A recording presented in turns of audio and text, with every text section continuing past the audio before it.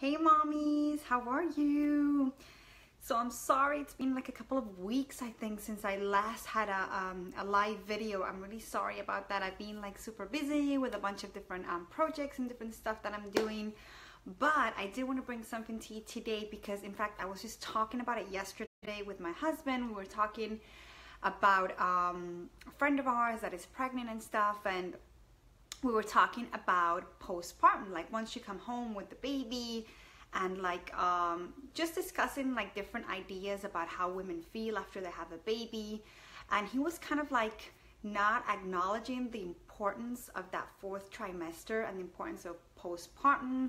And he was like kind of like i guess because we kind of maybe he forgot about it because we now have an 18 month old um, so you kind of tend to forget about birth and about all that stuff that happens at the beginning um, I don't, of course, but usually other people do. It's very, very normal. But I just wanted to bring that to you today because it's super, super important. Like, that's the number one tip that I can give any mom, whether it's a new mom or a fourth time mom or a fifth time mom.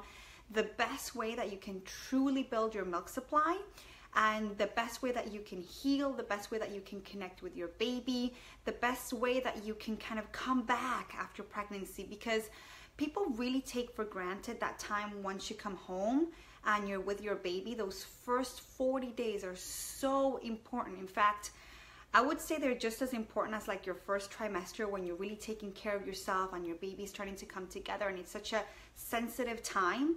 Um, the same, it's exactly the same with your fourth trimester, which is your postpartum period. And the reason for that is because imagine you've just gone through this whole nine months of making a baby and all these hormones and things happening in your body and then from one day to the next you have your hormones here and then they're like boom they peak drastically down so there's so much stuff going on with you emotionally um, you know and not just that but a lot of women actually express this that they miss their bump they miss their baby being in there and when your baby is inside of you you don't really have to do anything your placenta does everything so you kind of like relaxed in that sense. But once your baby comes out, you have that. So you have kind of the loss of being pregnant, the loss of having your bump, and now you have your baby with you. So it's like a reality shock like, oh my God, how am I supposed to take care of this baby?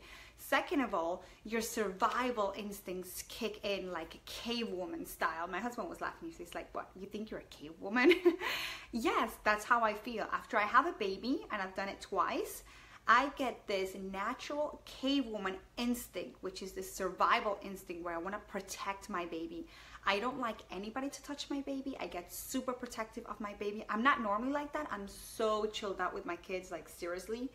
Um, but when it comes to my newborn, I'm like super protective. I don't want anybody to touch my baby. I want to be able to do everything for my baby and I have this incredible, immense feeling that I have to provide for my baby. And most women have that. That's why when you're not able to breastfeed, you go into this like depression mode because the one thing you're supposed to do for your baby, which is, you know, once your placenta's done everything else for your baby, now you step in and you have to provide for your baby. So it's like a super, um, I don't know, uh, inst- instinct. It's like a supernatural instinct that we have inside of us to be able to do that for our babies. So there's so much stuff going on. So it's really important that you take care of yourself, that you take time to kind of connect with yourself again, get to know yourself again, because you've gone through these stages where you're like pre-pregnancy, so you're like you, and now you're pregnant, so you're like this other person with a big bump, and maybe you waddle a little bit like a penguin, and then now you're this person with a baby. So all of a sudden, in this like 10 months, 12 months, you've gone through this huge transformation of different hats you've been wearing. So I don't like to kind of make it complicated, but I like to be real about it because that's what you go through. And some people take it really lightly, and it shouldn't be taken lightly because you go through so many, it's like a whole roller coaster of emotions. So it's really important that you take time in your postpartum period to be at home, to take things slowly, to get adjusted to things, and your baby needs that too. You kind of I know that he's been or she's been in you for nine months, but now you're getting to know each other, what he likes, what he doesn't like, um, how he likes to nurse, how he doesn't like to nurse, that he likes to just have a little bit of a feed and then a little bit of a snack. So you get start to get to know all these things about your baby, and the way that you do that is you with your baby, not other people carrying your baby, giving your baby a bottle. Obviously you need help and i acknowledge that but you're the one that has to get to know your baby you're the one that's going to provide for your baby so it's very important that you two connect that you room in one of the most amazing experiences that I've had is that spending those first 40 days with my baby and just spending time with my baby, just being in bed with my baby all day. And I'm like, you want to help me? Okay, great. Do my laundry, help me with my other kids. Please help me cook lunch. Um, so help me with other things but I concentrate on the baby. So I spend time with the baby. I do a lots of skin to skin with my baby, sometimes all day long. So now I, I, like with my second baby now I really felt comfortable just kind of laying in bed pretty much naked with my baby um, just really really spending that skin to skin time and all those things the fact that I was relaxed the fact that we were exchanging body heat um, the fact that my baby could feel my heart where he's been you know what he's been listening to for the, the last nine months all those things contributed to me being able to produce a good milk supply to establish a good milk supply. Also in those first 40 days that's when you establish how much milk supply you're going to have from the um, supply and demand. Your baby is going to be demanding your body's going to be supplying. So the more your baby's demanding and you're giving him that opportunity to be on you to be nursing all day the more milk your body's going to produce also. The other thing too, if you're at home, if you're relaxed, not having lots of family visit and lots of like, I'm gonna go to the mall now that I can go out, now that, you know, I'm not this big giant walrus walking around. Um, you know, that's, I, I respect everybody's decision, but if you take that little bit of time to spend at home, you're also gonna take time to be better nourished, to have the foods and supplements and nutrition that you need so that your body's able to recover also, so that your body's able to function better. Also remember your body's gone through this all these changes it needs to adjust to pre-pregnancy stage too. So give time for your womb. You can do little massages. You can take, you know, showers. And I know that you have a newborn and you have other kids around and stuff like that. But if you're at home, you have more time to do that. And then once you're able to step out after those six weeks, then your baby is going to be better connected with you. You're going to feel more relaxed. You're going to feel more ready to go out there. So just, I've spoken about a lot of different things, but I just kind of wanted to give you a very big overview of what goes on in those first 40 days, on how important it is for you to embrace them and really take care of them.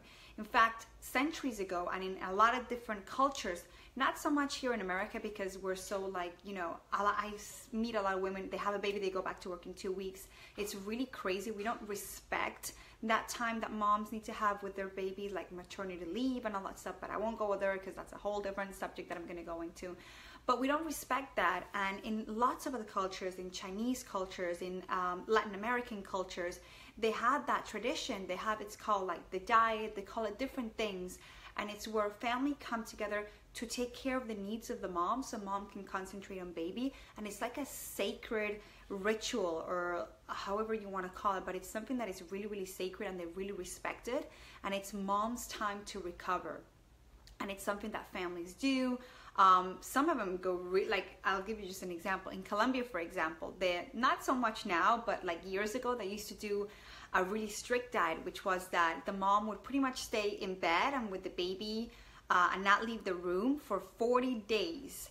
And in those first, in those 40 days, she would eat a whole chicken soup. Like they would make soup out of a whole chicken, so 40 chickens every single day. So she would have like chicken broth with the vegetables and lots of whole things, whole rice, um, whole pastas, and things like that in this soup, which was like a super nutritious soup for the mom to be able to recover and for her to be able to provide everything she needed for her baby. And everybody else would take care of all the chores, and the mom would just concentrate on getting better and spending time with her baby. How cool is that? Can I have one of those? so, um, so they really, really took this into account, and they didn't just do it for the sake of doing it. They've done it because it was able to, um, you know, allow those women to recover and to be able to provide for their babies. So I feel like in those days we didn't have so many struggles and so much um, concerns with breastfeeding. It just came so much easier. But I think it was because all these external things were happening to enable that. So um, it's pretty cool. Um, I really, really urge you if you're pregnant, kind of think about how you're gonna um, deal with your postpartum period, with your fourth trimester, and what you're gonna do and what you need to have in place to be able to make it that recovery time and that time to nurture and spend with your baby. So if you um, are Hispanic or you're Chinese or from India, maybe I think in India they also have that culture um, of the diet or whatever they call it. Let us know what it's like for you and what your how your family gets involved and what you do. Um, or now we have the the ability that um, we have doulas and midwives and all these nurses that are disposed to that that's what they they do as a career to take care of moms after they have their babies. And that's pretty pretty awesome. I've actually thought about that if i have a baby again. Um, i'd love to venture um, down that road because um, it would just give me like peace and quiet at home but i would have someone uh, helping me take care of my baby and with my kids and stuff. So I just think doulas is a great idea, and I really actually want to learn more about that and how um, I can teach you guys about that too, how you can take advantage of doulas because I think it's an amazing way for you to be able to, you know, come home and be able to take care of everything. Thank you, mommies. Bye.